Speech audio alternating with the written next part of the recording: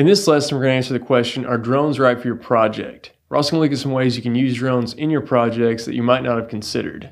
As a side note though, before we get started, throughout this course, I'm going to be using the term drone to describe these unmanned aerial vehicles that we're going to be working with. They go by many names, UAVs, UAS, quadcopters for those with four propellers, octocopters for those with eight propellers. The term drone seems to be the most common terminology out right now and is used the most when describing these aircraft. We'll start with the question, are drones right for your project? Well, do you need aerial video or photos for your project? If the answer is yes, then I would highly recommend using a drone for your project.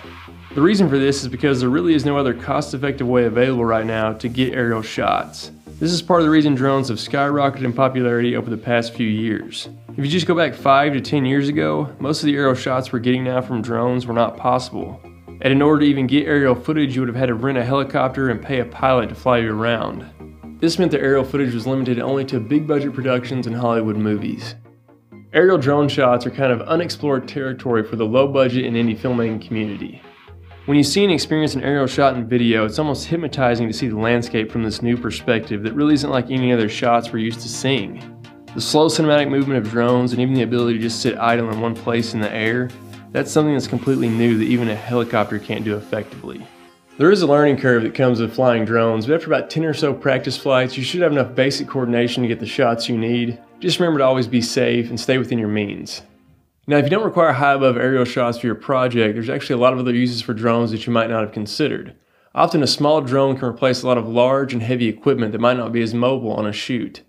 Jib shots and long dolly shots are a good example of this. Obviously, the pros using a drone instead of a jib would be the amount of equipment that you would have to haul and set up. A lot of heavier jibs require more than one person to operate as well. So if you're on a budget, opting a drone can be a much cheaper solution to hiring an extra gaffer or somebody else to help you with a jib. Not to mention a smaller drone can be carried in a small backpack or carrying case. This drastically increases your mobility for your shoot and in many cases won't require you to rent a larger vehicle because now you don't have to haul around all that extra equipment. Pros of using a drone instead of a dolly would be that you're no longer limited to the length of your dolly track. You don't have to spend a lot of time setting up and balancing your track. Since the drone is in the air, you don't have to worry about the rough terrain.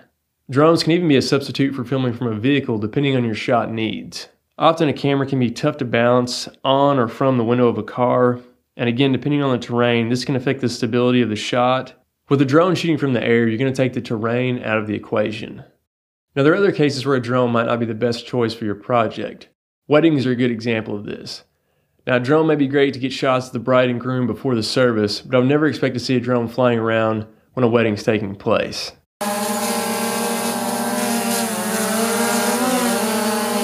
The fact is, they're just too loud and distracting for any scenarios like that. Anything with dialogue would obviously also pose a problem because, again, all you're going to be able to hear is just the humming coming from the drone and a lot of drones don't even record audio because of this. But that's fairly obvious, and I would think that most people would expect to be recording the audio separate anyway, or at least doing audio dubbing after the fact. If I have a drone shot that requires actors' audio being recorded, what I'll do is I'll get my aerial shot first, then I'll land my drone and safely power it down, then I'll walk to that location with a mobile recorder, have the actors repeat their audio. That way I can just sync that up in post, and it's going to save me a lot of post processing from having to match audio that I might record in the studio. A drone will also put out a fair amount of wind. Nearly all of it's going to be directly below the drone, so this shouldn't pose much of a problem.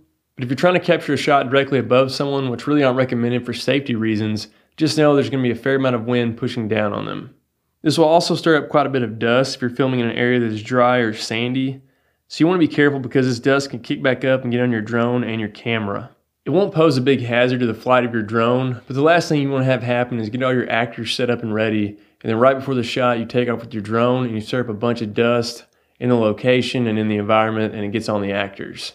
Make sure you take off a moderate distance away or a few minutes before your intended shot. Also, it's good to know that animals will easily be spooked by the drone floating in the air. Some animals will run away, other animals like dogs may bark at it or even chase after it, so just be mindful when shooting around animals, and it's probably not a good idea to shoot at a zoo. Flying indoors is kind of a gray area. Even if you're really well experienced, I don't recommend it. So if you're just starting out, I would definitely avoid flying indoors altogether. I recommend logging at least 100 flights or more before doing a test flight indoors, and you also want to make sure you have the right drone for that type of work. Some newer drones, such as the DJI Phantom 3 and the Inspire 1, come equipped with a vision positioning camera underneath the drone, to help keep it steady when it comes close to the ground, even without a GPS signal. So this can make flying indoors much easier. However, I still don't recommend flying anything smaller than a large maintenance garage or warehouse, just because things can go wrong really quickly. In the next lesson, you're going to learn some general information about drones such as technical specs and limitations that are really good to know if you're a beginner UAV pilot.